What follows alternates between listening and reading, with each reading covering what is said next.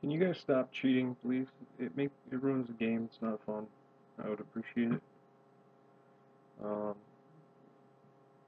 have private matches, whatever, but don't cheat in public matches on Black Ops 2, please. I know this was a bit misleading because the only people who are going to view it are the ones that are going to want to cheat. So please stop.